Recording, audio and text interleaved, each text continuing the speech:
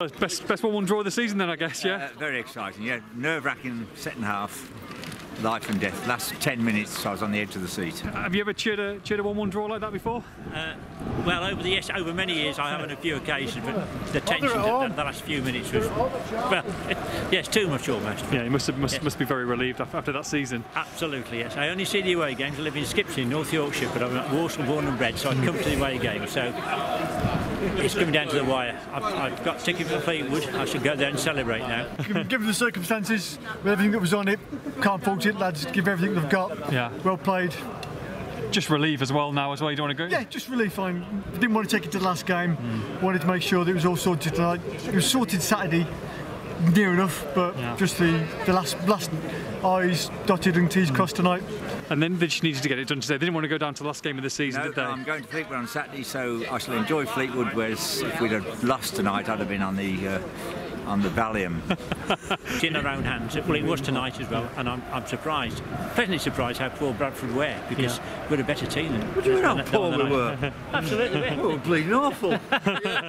and Dean Keates as well. Now he can assess his squad, can't he, and yeah. plan for the summer because it was difficult to do that before tonight. It has, it was, but it's a lot more stable side. He's, he's made a much stronger defence with tactically a bit more nous and mm. less of this long ball. And he's fitted Corey Roberts into a nice position to right back, which is unusual, but he's done well.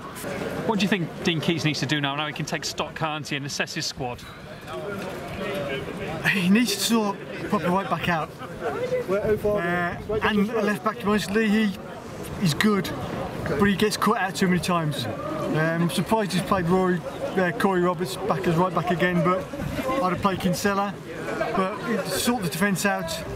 Um, obviously, sort out who's going to. Obviously, we're going to lose Ozzy. Probably lose a couple of others. Hopefully, Joe Edwards comes back fit and he stays. Um, because I think with him and perhaps Flo and Adam in the middle, we've got a good solid middle of the park there.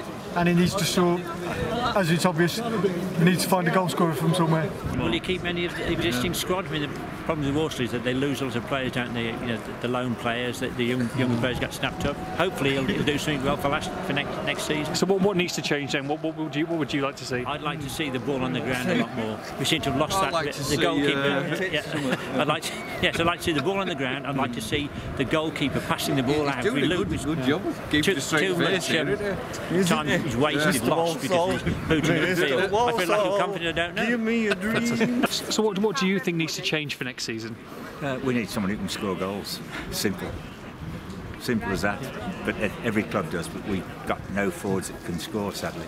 But just enjoy tonight, yeah? Thank you. It's been great. What, what, do, you, what do you think next season? What, what should Walsall be aiming for? Top half, you know, top 10.